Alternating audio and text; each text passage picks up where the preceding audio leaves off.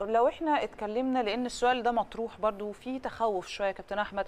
يقول لك طب إحنا هن يعني هنلعب الماتشين دول إزاي؟ وهل إحنا هنلعب بشكل مختلف عن أمم أفريقيا ولا الأداء إزاي؟ وهل في تأهيل نفسي وبدني ولا الوضع إزاي؟ يعني برضو الصورة بتشوفها إزاي بقى؟ لأن خلاص زي ما حضرتك قلت هم ماتشين وننتهي على كده.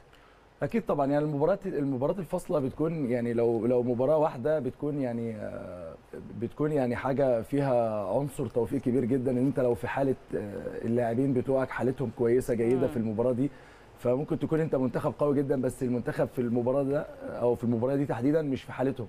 آه، زي ما بيقولوا دي اوف يعني خلاص مقفولة مقفولة.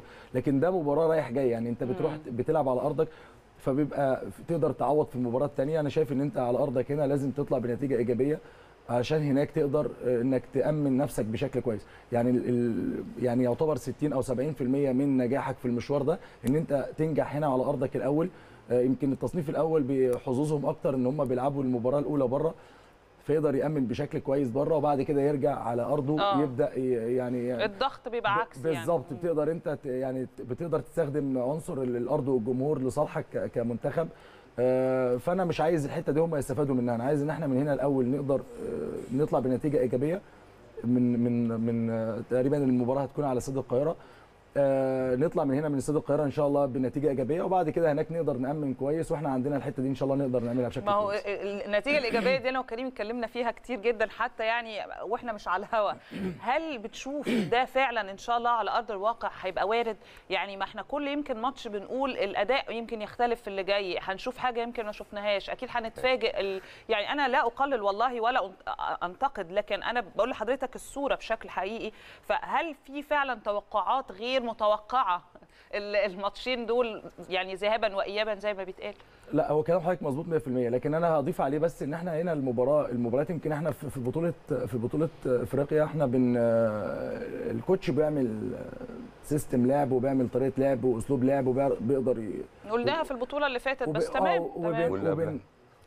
ولا اول البطولة العربية آه بنقول وب- الكلمتين وبين. وبيعمل أسلوب لعب وبنبدأ إن إحنا اللاعبين لقيناها بطولة يعني طويلة شوية فيها دوري مجموعات أو دور. مجموعات وفيها بعد كده مباراة دور الثمانيه دور ال 16 وبعد كده الثمانيه وبعد كده الأربعة والنهائي ففي تدريج في ال- في ال- في. في الصعود لكن دي مباراة آه، فاصلة أو مباراتين فاصلتين فأنا شايف إنه اللعيبة نفسها لازم يبقى لها دور إن هم يكونوا في أفضل حالاتهم. هم الإعداد النفسي ده مهم جدا وال- والذهني وال والإعداد البدني. أنت بتلاعب منتخبات قوية جدا تتميز بقوة بقوة بدنية عالية جدا وبسرعات عالية جدا.